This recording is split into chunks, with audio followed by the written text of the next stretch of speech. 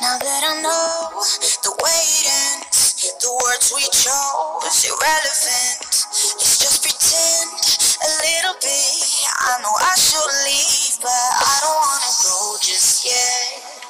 Cause I'm not really over it.